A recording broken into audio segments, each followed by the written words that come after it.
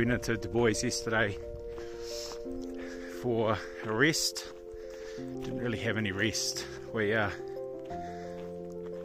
got in late, went to the supermarket, had a feed, slept, got up today, resupplied, sent ourselves a box to South Pass City, which is basically a living museum uh, further along in Wyoming.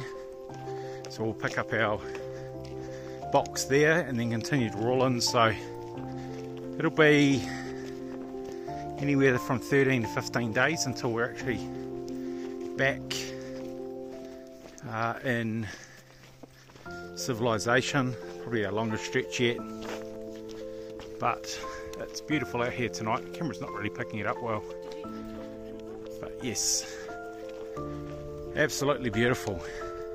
Dubois was a quite a cool town. Was expensive, hard to hitch to, but we got a reasonably easy hitch back with a really cool cowboy that's uh, from Texas, but he's up here working on a ranch. So yeah, cool stuff. I've only been walking for about probably 45 minutes, but we are well out into the wilderness already. We're just following this dirt road. Uh, and at some point, it will get to a trail, and then we'll be heading south again into the winds, which is meant to be the most spectacular part of the whole walk. So we're a little bit excited. And then after that, we go down to South Pass City. They got a store there that was holding our package for us. Uh, there's nothing actually there. It's just an old mining town that they have restored and people visit it. But at the store, they've got ice creams and fizz pop, things like that. Um, so we'll probably take a day off there because we'll be nine days in or so at that point.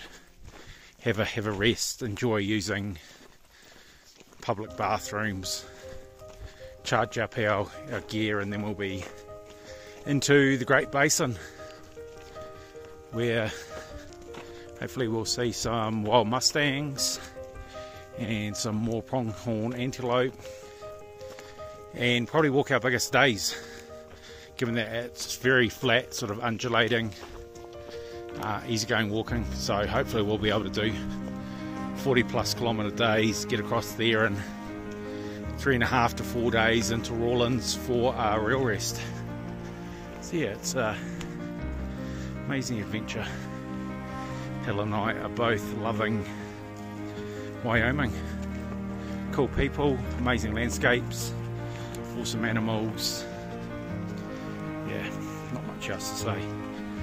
Just Got to get our walk on and find us a campsite because it's starting to get dark.